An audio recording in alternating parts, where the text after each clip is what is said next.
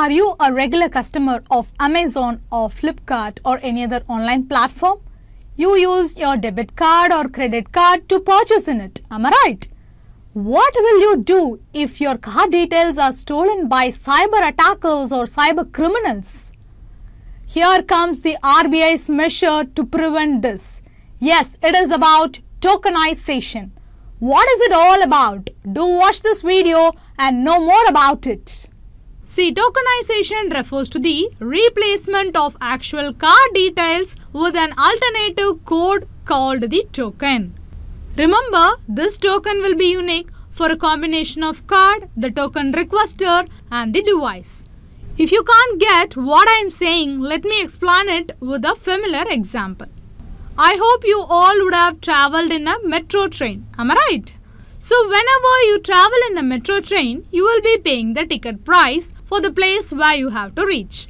And the ticket provider will code the ticket to your destination. Once you collect the token, you will use it to enter the metro station and exit the metro station. Am I right? This means that you cannot use the coded ticket to any other route except the route that you should travel. Likewise, whenever you buy a thing from an online platform, here you can take Amazon as an example.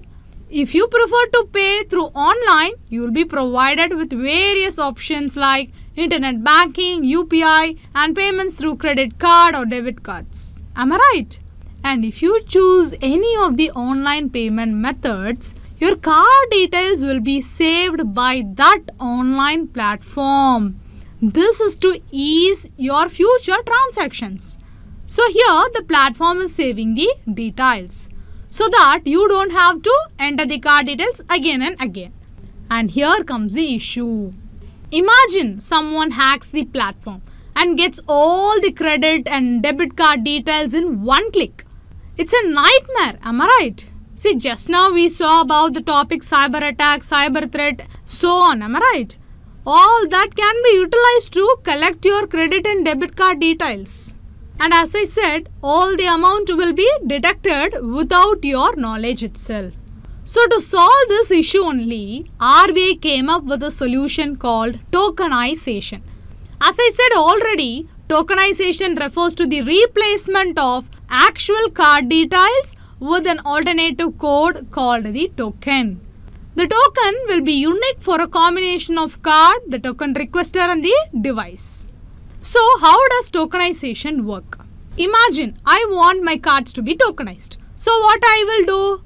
I will initiate a request to the respective online platform that is the Amazon. Now what Amazon will do is it will forward my request to the respective card network. The card network with my concern proceed to generate token by sending OTP to my registered mobile number and email ID.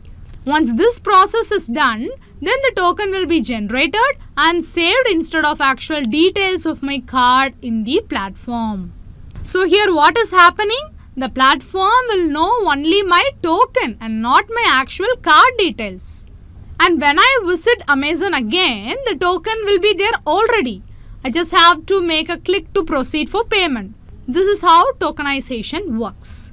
Now here also you may have a doubt. How will this tokenization prevent me from any data theft? See the answer to this is a very simple one. Earlier I mentioned about a combination with three items, right? That is the card, the token requester and the device. Here the card is mine. The token requester is the Amazon Retail India Private Limited and the device is the app in which my card details are saved. That is Amazon application. All the three items are very important because the token generated upon request for a specific merchant is unique to a specific card number and is usable only on the particular site or mobile app.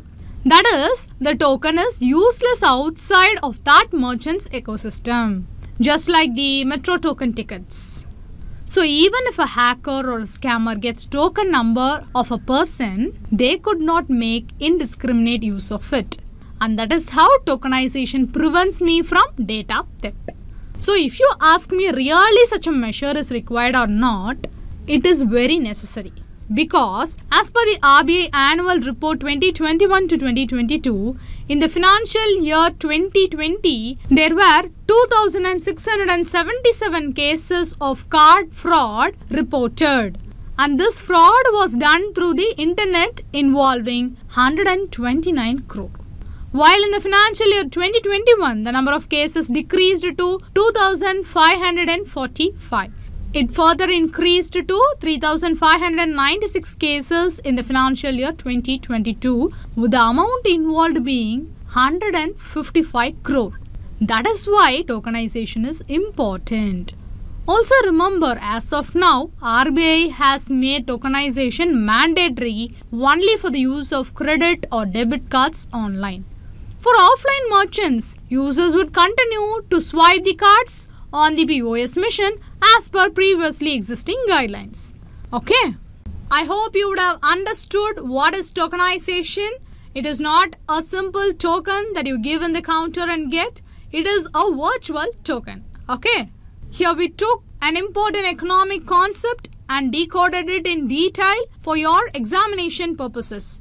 Likewise, if you want to know more economic terms or economic concepts, do follow our Hindu newspaper analysis and stay updated for your UPSC prelims and mains examination. Thank you.